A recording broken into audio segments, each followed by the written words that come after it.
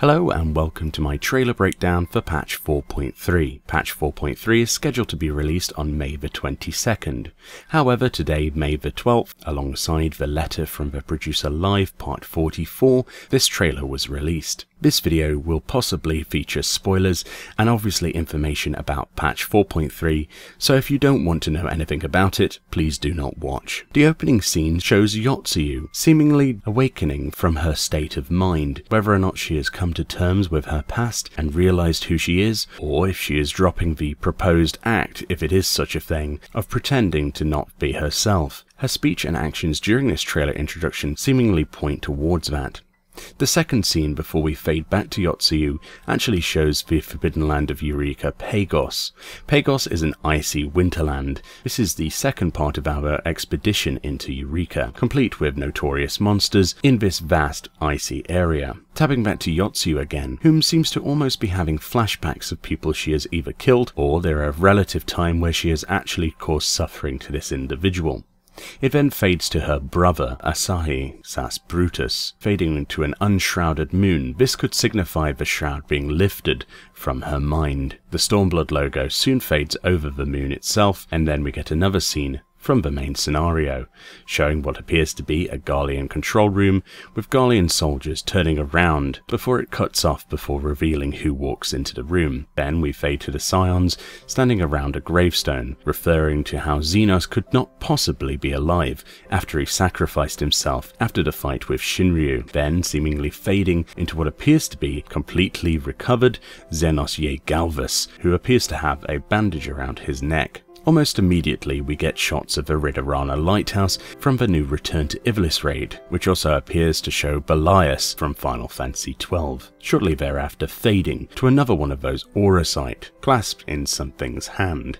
Then we see a lady aboard the Prima Vista carrying a box of Auracite, transitioned into the Warrior of Light and his alliance party, traversing through the many catacombs of the Ridorana lighthouse. Shortly thereafter, the activation of what appears to be a boss, which seems to be a golem of sorts with three glowing chest orbs and magic bound. It then fades to this lovely piece of artwork, which could be a flashback storytelling technique, seen as the next scene, what I think is Begamnon and his associate on the Prima Vista, fading then to the inner clockwork mechanics of a Ridorana lighthouse. The next scene seemingly showing what appears to be Famfrit from Final Fantasy XII, or at least the Zodiac Brave storyline in, in Final Fantasy XIV, with his signature vase and water attack fighting the Alliance raid. It then tabs to more storyline to do with the Alliance raid, and then finally back to that mechanical golem who seems to have the power and seemingly sucks in the entire Alliance raid into what appears to be like an Ozma orb,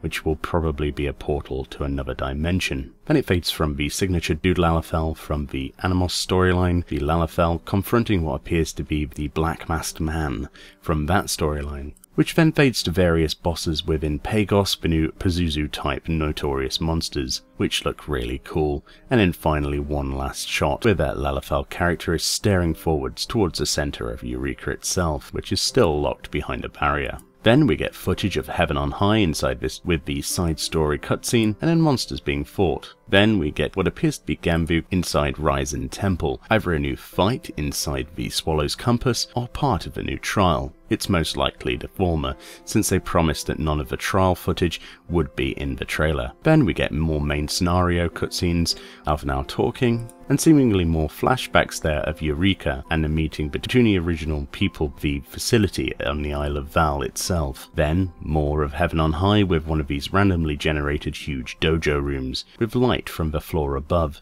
cascading into the rooms below. A monkey is being slain by a samurai with great prejudice inside Heaven on High, and we finally get an outside shot of what we've seen all along. Then we're straight back to the main scenario again, with Yotsuyu dropping her permission and her plate, with Gosetsu screaming, asking if there is anything wrong with Tsuyu. She then screams she's sorry, and then we get this cutscene where it appears to be the Warrior of Light fighting through flashbacks of her past, with one of the scenes clearly showing Zenos Ye Galvus, presumably from the past, which shows her completely distraught. Confronted by Asahi, it seems the Warrior of Light is fighting through all of these emotions in a flashback type scene, perhaps a fragment of the Echo. Alpha now seems to be having a tough time himself in whatever situation that Empire area is. Control panel there is exploding with lightning, and then we get Asahi simply close his eyes, open them and pull a gun on the camera. The next scene is really unusual, where it shows Gosetsu fighting against Zenos Galvus in what appears to be again another flashback, shortly before the scene switches to more bosses within the dojos of Heaven on High and actual bosses from Pagos itself. Finally, the trailer ends with Gosetsu failing to withstand Zenos' advances, and Zenos strikes Gosetsu down, where the screen fades to white. Then from the white, a moon appears. The moon shatters and turns into the lettering under the moonlight for patch 4.3. The screen then fades to black, and then we get footage of Ultima Weapon Ultimate, which features Ifrit, Garuda and Titan, before seeing Ultima Weapon itself use Ultima and destroy the entire screen, followed by an initial fade out and a fade in of their promotion to actually try Final Fantasy XIV today. Either way, there's lots of stuff locked within these scenes, but perhaps even I have missed, filled to the brim with storyline. They haven't really shown much else in here, none of the crafting dailies or Namazu tribe was actually shown in this trailer, surprisingly. Either way, thank you for watching this video, and I'll see you next time.